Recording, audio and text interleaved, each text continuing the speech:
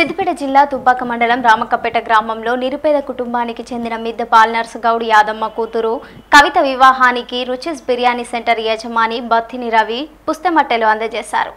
ఈ కార్యక్రమంలో press club అధ్యక్షుడు రాజమల్లు మిడుతొట్టి మైపాల్ రెడ్డి అహోం బిల్లాం వెంకటేశ్వర్లు సుధాకర్ కర్ణాకర్ గట్టు ప్రసాద్ మహేష్ తదితరులు పాల్గొన్నారు.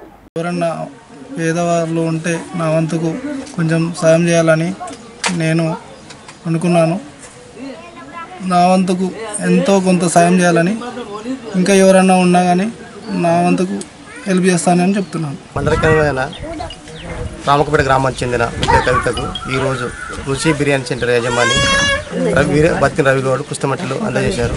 అదేవిధంగా ఏ పేద పేద వస్తు వివాహానికైనా మరి కొంతమందికి సహాయం చేయడానికి ఇంకా ముందుకు వస్తున్నాడు.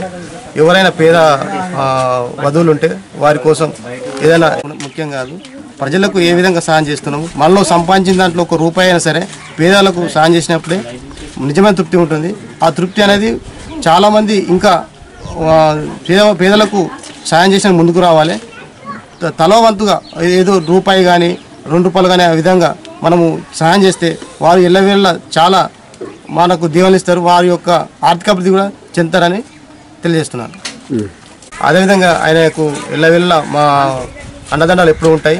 ఈ విధంగా సహాయం చేసినందుకు మేము దుబ్బాక ప్రెస్ క్లబ్ తరఫున ఆయనకు కృతజ్ఞతలు తెలుపుతున్నాం.